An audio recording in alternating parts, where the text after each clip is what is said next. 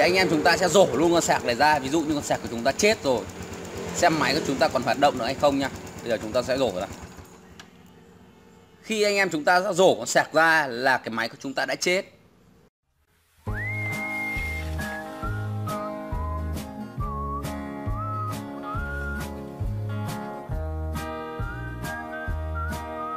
Xin à, chào tất cả các anh em nha và cái video lần video lần trước ấy, Mình à, có đăng lên cho tất cả các anh em tham khảo cái mạch à, đánh nửa của phun sao điện tử FI của con Waze SX ấy.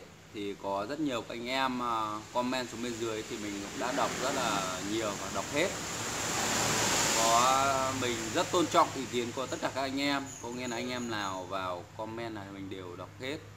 Có nhiều, những lúc mình bận quá thì mình không đọc ví dụ sáng mình không đọc nhưng mà có thể chiều mình đọc. Chiều mình bận mình không đọc thì có thể tối mình đọc.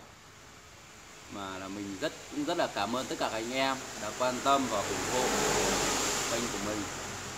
Và mình cũng chỉ mong muốn là anh em mình à, cùng chung tay góp sức để phấn đấu lên một tầm cao mới. Thì có anh em hỏi là, nếu như con sạc nó mà hỏng ấy thì xe của chúng ta có lổ được máy hay không? Thì ờ, mình khẳng định là nếu như sạc của mình hỏng, phun xăng điện tử là sẽ không lổ được máy.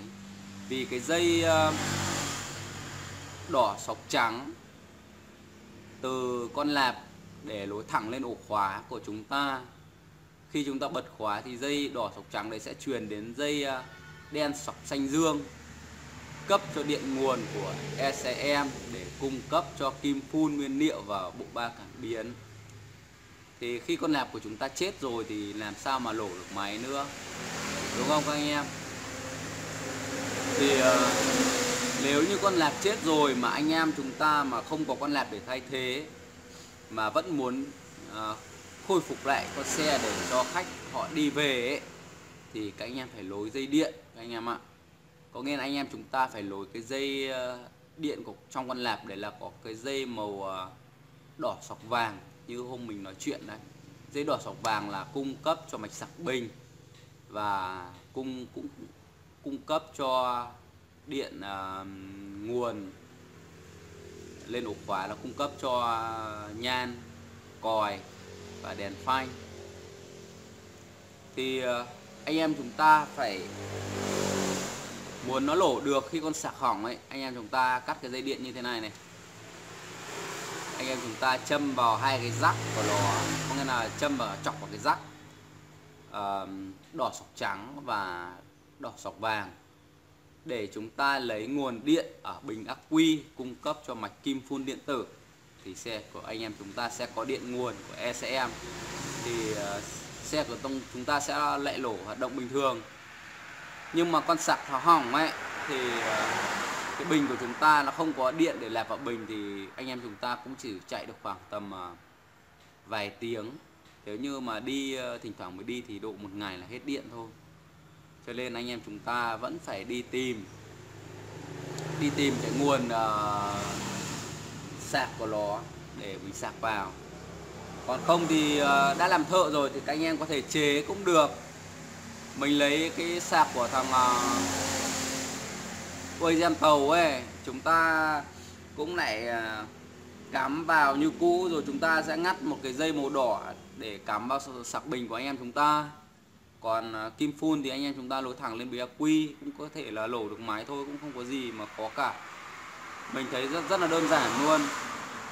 Cho nên là video hôm nay mình cũng sẽ hướng dẫn cho các anh em cách uh, lối như nào để cho nó lổ máy được và ờ, mình cũng sẽ nhấn mạnh là cái đường kim phun của nó của chúng ta ấy, cũng có thể là mình nối trực tiếp vào bình ắc quy. Không cần qua con nạp, vẫn cứ lổ bình thường, ok mà các anh em, không có gì khó cả.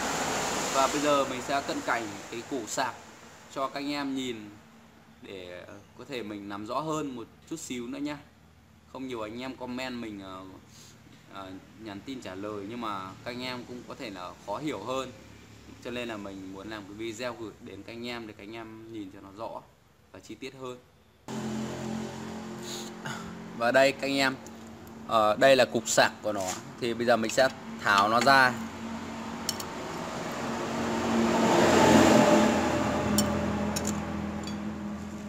Mình tháo nó ra để mình ờ, hướng dẫn chi tiết cho các anh em. Thì cái video lần trước ấy mình đã hướng dẫn cho các anh em đọc các cái chân.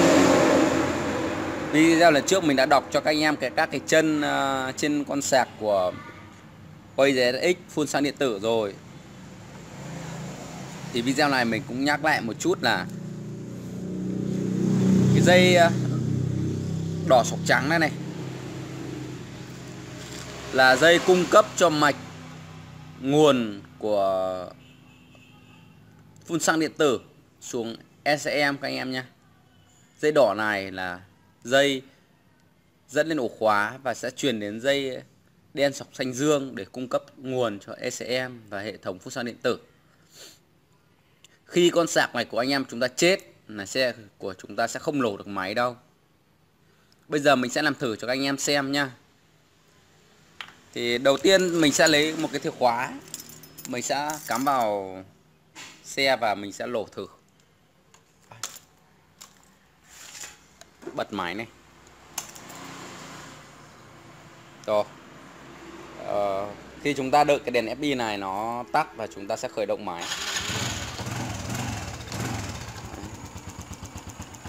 Rất là ok đúng không anh em?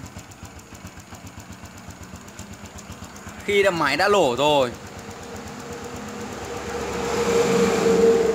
Thì anh em chúng ta sẽ rổ luôn con sạc này ra. Ví dụ như con sạc của chúng ta chết rồi. Xem máy của chúng ta còn hoạt động nữa hay không nha bây giờ chúng ta sẽ rổ ra. Khi anh em chúng ta rổ con sạc ra là cái máy của chúng ta đã chết. Thì tại sao nhỉ? Thì tại vì cái con sạc con sạc này là là nó sẽ cung cấp điện vào cái dây đỏ sọc trắng này đi lên ổ khóa, khi chúng ta bật khóa máy là dây đỏ này sẽ truyền sang dây đen sọc xanh dương, cung cấp xuống cho ECM cung cấp cho ECM đây, đen sọc xanh dương đây. Cung cấp cho ECM khi đấy ECM đã nhận được cái nguồn điện, thì ECM nó sẽ truyền cho tất cả cả các cái cảm biến từ kim phun điện tử và các cảm biến trên xe để nó đánh nửa để hoạt động được một con xe trên uh, trước mặt của chúng ta đây. Thì hôm vừa rồi mình đã hướng dẫn cho các anh em là các em khi máy của chúng ta chết thì các anh em lên kiểm tra cho mình cái dây đỏ sọc trắng này này nguồn cấp cho IC hay còn gọi là ECM Mới cả cái dây đen sọc xanh dương. Đen sọc xanh dương này. Là hai cái nguồn chính. Hai cái dây của nguồn chính trên xe. Thì máy của chúng ta sẽ không nổ được đâu. Nếu như nó bị đứt hoặc chuột cắn.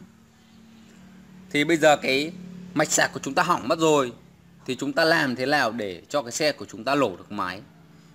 Thì như lúc đấy, mình có bảo anh em là cắt cho mình cái màu dây điện như thế này. Cắt màu dây điện này chúng ta sẽ lối từ dây đỏ sọc vàng mấy dây trắng sọc đỏ này vào nhau. Đấy. khi chúng ta cắm vào là điện sẽ truyền tới con ECM này và nó hoạt động cho bơm xăng. Mình vừa thấy cắm phát là bơm nó sẽ rít kêu luôn, tức là ok rồi. Còn nếu không các anh em có thể cắt cái dây đỏ sọc trắng này lối thẳng trực tiếp vào bình ắc quy hoặc là dây màu đen nguồn sau khóa. Để chúng ta cho nó chạy bằng điện bình ắc quy cũng ok các anh em nha đây là dây này này.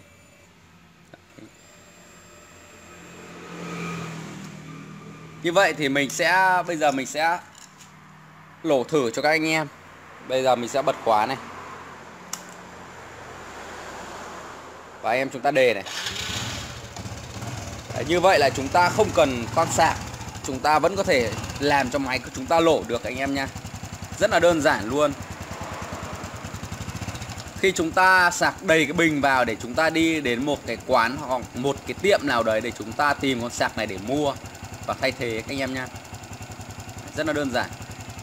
Thì bây giờ mình sẽ rổ cái dây này ra là máy lại chết này. Bây giờ mình sẽ rổ ra này. Bây giờ mình rổ này. Đấy, máy của chúng ta lại chết